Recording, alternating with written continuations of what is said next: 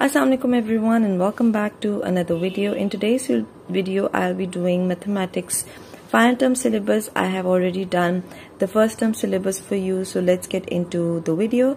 So um, for the final term introduction to numbers from 1 till 150 till 200 will be given in the form of blanks. Each um, missing number will be given and child has to make sure that he is writing in sequence. The next one is the times table for 2. 2 times table will be done with the children. Dodging uh, of numbers from 100 to 200. Introduction to simple addition and subtraction of two digits. So one digit is already done. So they'll be doing the two digit numbers.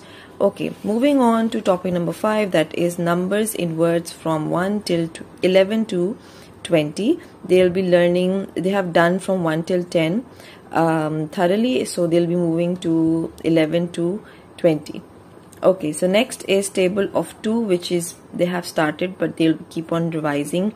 The 2 times table and then the dodging table will be given to the child for them to memorize it easily. What comes before between and after? So this is done basically um, for for them to actually learn the sequence.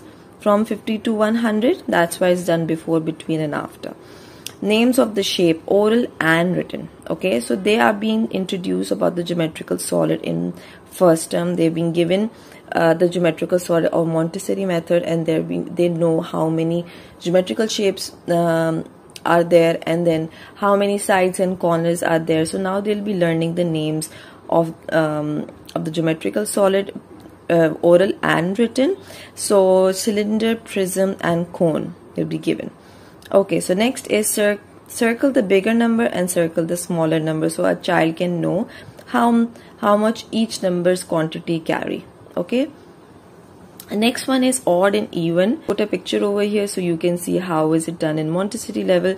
Next is introduction of time and clock. So a child will be given a brief introduction of how you can read time with the help of five times table. Of course they have not done five times table but they can be told like a beginning time for the children. Okay?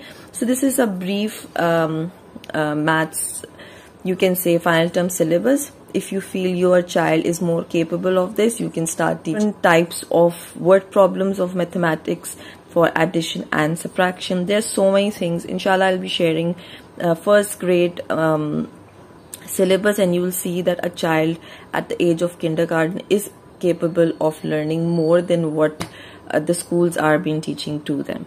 Okay? So thank you so much for watching my video and supporting me as always. Like comment, share and subscribe and I will see you in my next video.